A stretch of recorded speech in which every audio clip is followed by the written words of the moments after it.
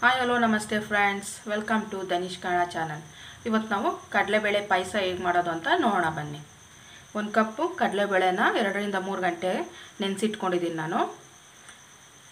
ಒಂದು ಕಪ್ ಬೆಲ್ಲ ತೊಗೊಂಡಿದ್ದೀನಿ ಮುಕ್ಕಾಲು ಕಪ್ಪಷ್ಟು ಕಾಯಿ ತುರಿ ತೊಗೊಂಡಿದ್ದೀನಿ ಕಾಲು ಕಪ್ಪಷ್ಟು ಅಕ್ಕಿ ತೊಗೊಂಡಿದ್ದೀನಿ ಏಲಕ್ಕಿನ ಕುಟ್ಟಿ ಪುಡಿ ಮಾಡಿ ಇಟ್ಕೊಂಡಿದ್ದೀನಿ ಗೋಡಂಬಿ ಸ್ವಲ್ಪ, ದ್ರಾಕ್ಷಿ ಸ್ವಲ್ಪ, ತುಪ್ಪ ಸ್ವಲ್ಪ. ಒಂದು ಗ್ಲಾಸ್ ನೀರು, ಒಂದು ಗ್ಲಾಸ್ ಹಾಲು. ಎರಡು ಈಕ್ವಲ್ ಆಗಿ ತೊಗೊಂಡಿದ್ದೀನಿ ನಾನು. ಈಗ ಇದನ್ನು ಹೇಗೆ ಮಾಡೋದು ಅಂತ ನೋಡೋಣ ಬನ್ನಿ. ಸ್ಟವ್ ಹಚ್ಚಿ ಕುಕ್ಕರ್ ಇಟ್ಕೊಂಡಿದ್ದೀನಿ ನಾನು. ಈಗ ಕುಕ್ಕರ್ಗೆ ನೆನೆಸಿಟ್ಕೊಂಡಿರೋಂಥ ಕಡಲೆಬೇಳೆ, ನೀರು ಎರಡು ಹಾಕ್ಕೊಳ್ತಾ ಇದ್ದೀನಿ. ಕಡಲೆಬೇಳೆ ಎಷ್ಟು, ಬೇಯೋದಕ್ಕೆ ಎಷ್ಟು ನೀರು ಬೇಕೋ ಅಷ್ಟೇ ಹಾಕ್ಕೊಳ್ಳಿ ಜಾಸ್ತಿ ಹಾಕ್ಕೊಳಕ್ಕೆ ಹೋಗಬೇಡಿ. ಇದು ಎರಡರಿಂದ ಮೂರು ವಿಸಿಲು, ಮೂರು ವಿಸಿಲ್ ಕೂಗಿಸ್ಕೊಳ್ಳೋಣ ನಾವು ಈಗಂತನ ಕುಕ್ಕರ್ ಮುಚ್ತಾ ಇದ್ದೀನಿ.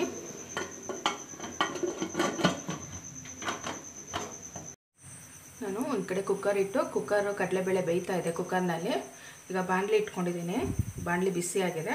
ಅದಕ್ಕೆ ಅಕ್ಕಿ ಹಾಕ್ಕೊಂಡು ಸ್ವಲ್ಪ ಕೆಂಪಗಾಗೋವರೆಗೂ ಹುರ್ಕೊಳ್ಳೋಣ. ಸಣ್ಣ ಉರಿಲೇ ಹುರ್ಕೊಳ್ಳಿ. ಇಲ್ಲ ತುಂಬ ಸೀದೋಗ್, ಸೀದೋಗ್ಬಿಡುತ್ತೆ. ಸೀದೋಗ್ಬಾರ್ದು ಇದು. ನೋಡಿ ಫ್ರೆಂಡ್ಸ್ ಇದು ಕೆಂಪಗಾಗ್ತಾ ಇದೆ. ಅಂತ ಸ್ಮೆಲ್ಲು ಬರ್ತಿದೆ ಅಕ್ಕಿ ಇದೆ.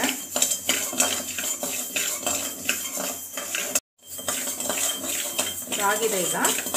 ನಾನು ಪ್ಲೇಟ್ಗೆ ಹಾಕೊಳ್ತಾ ಇದ್ದೀನಿ.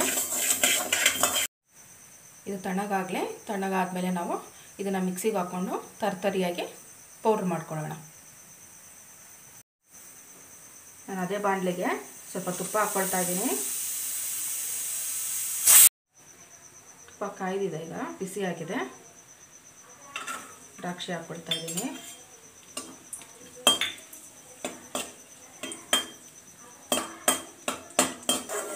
ಇದಾಗಿದೆ. ಸಪ್ರೇಟಾಗಿ ಬೌಲಿಗೆ ತಗೊಳ್ತಾ ಇದ್ದೀನಿ. ಈಗ ಅದೇ ತುಪ್ಪಕ್ಕೆ ಗೋಡಂಬಿ ಹಾಕ್ಕೊಳ್ತಾ ಇದ್ದೀನಿ.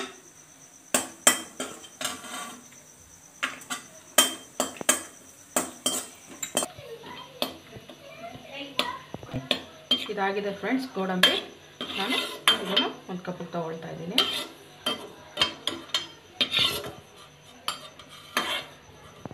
ಪಾತ್ರೆಯಲ್ಲಿ ಒಂದು ಗ್ಲಾಸ್ ನೀರು ಹಾಕ್ಕೊಳ್ತಾ ಇದ್ದೀನಿ ನಾನೀಗ. ಒಂದು ಗ್ಲಾಸು ಹಾಲು ಹಾಕ್ಕೊಳ್ತಾ ಇದ್ದೀನಿ. ಚೆನ್ನಾಗಿ ಬಿಸಿ ಆಗಲಿ ಫ್ರೆಂಡ್ಸ್ ಇದು. ಆಗಲೇ ಹುರಿದಿಟ್ಕೊಂಡಿದ್ನಲ್ಲ ಹಾಕಿ ಅದನ್ನು ಮಿಕ್ಸಿ ಜಾರ್ಗೆ ಹಾಕ್ಕೊಳ್ತಾ ಇದ್ದೀನಿ. ಪೂರ್ತಿ ನುಣ್ಣಗೆ ರುಬ್ಕೋಬೇಡಿ. ತರ್ತರಿಯಾಗಿರಲಿ ಇದು ರವೆ ಥರ ಇದನ್ನು ನಾನು ಮಿಕ್ಸಿಗೆ ಹಾಕೊಂಬಂದ್ಬಿಡ್ತೀನಿ ಈಗ. ನೋಡಿ ಈ ರೀತಿ ತರತರಿಯಾಗಿ ಮಿಕ್ಸಿಗೆ ಹಾಕೋಬೇಕು. ನಾವು ಹಾಲು ಕಾಯಕ್ಕೆ ಇಟ್ಟಿದ್ವಲ್ಲ, ಅದು ಕುದೀತಾ ಇದೆ. ನಾನು ಪೌಡ್ರ್ ಮಾಡ್ಕೊಂಡಿರೋ ಅಂಥ ಅಕ್ಕಿನ ಇದಕ್ಕೆ ಹಾಕ್ಕೊಳ್ತಾ ಇದ್ದೀನಿ. ಒಳ್ಳೆ ಮಿಕ್ಸ್ ಕೊಡಿ. ಆಗ ಕೈ ಆಡಿಸ್ತಾ ರೀ ಬೇಯಲಿ ಇದು ಚೆನ್ನಾಗಿ ಒಂದು ಹತ್ತರಿಂದ ಹದಿನೈದು ನಿಮಿಷ.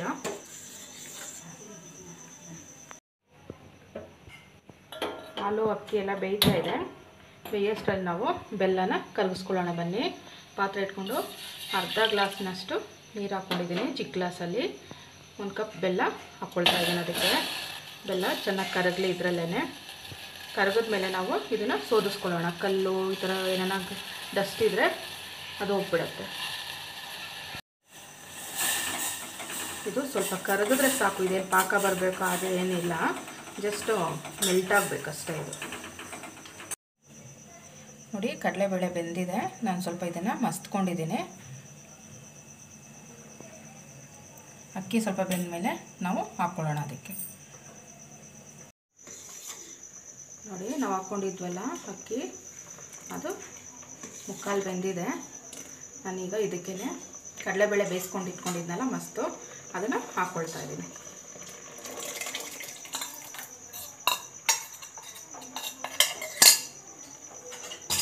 ಒಂದೊಳ್ಳೆ ಮಿಕ್ಸ್ ಕೊಡಿ.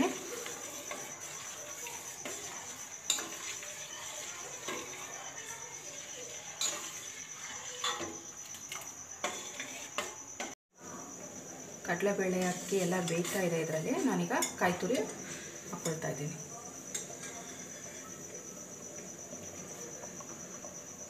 ಆಗ ಕೈ ಆಡಿಸ್ತಾ ಇರಿ. ಇಲ್ಲ ತಳ ಅಂಟ್ಬಿಡತ್ತೆ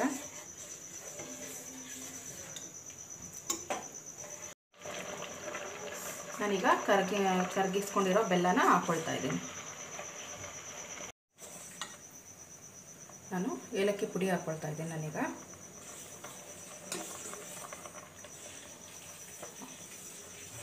ಆಲ್ಮೋಸ್ಟ್ ಆಗಿದೆ ಫ್ರೆಂಡ್ಸ್ ಇದು. ಒಂದೆರಡು ನಿಮಿಷ. ಫೈನಲಾಗಿ ನಾವು ಗೋಡಂಬಿ, ದ್ರಾಕ್ಷಿ ಹಾಕೋಬೇಡ. ಇದಾಗಿದೆ ಫ್ರೆಂಡ್ಸ್ ಈಗ. ಗೋಡಂಬಿ ಹಾಕ್ಕೊಳ್ತಾ ಇದ್ದೀನಿ ನೋಡಿ. ಗೋಡಂಬಿ, ದ್ರಾಕ್ಷಿ.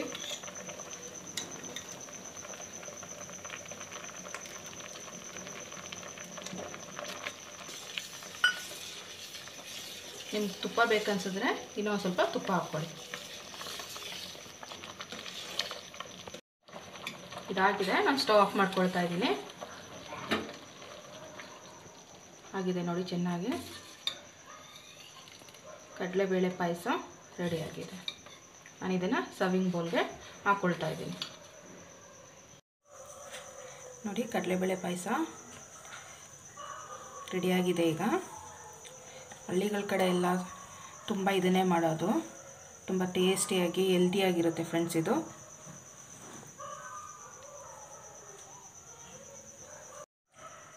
ಕಡಲೆಬೇಳೆ ಪಾಯಸ ರೆಡಿಯಾಗಿದೆ ಫ್ರೆಂಡ್ಸ್ ಈಗ. ನೋಡಿ ಟೇಸ್ಟಿಯಾದ ಕಡಲೆಬೇಳೆ ಪಾಯಸ ರೆಡಿಯಾಗಿದೆ ನಾನು ಮಾಡಿರೋ ವಿಡಿಯೋ ನಿಮಗೆ ಇಷ್ಟ ಆದರೆ ಪ್ಲೀಸ್ ಲೈಕ್ ಮಾಡಿ ಶೇರ್ ಮಾಡಿ ಸಬ್ಸ್ಕ್ರೈಬ್ ಮಾಡಿ. Thank you for watching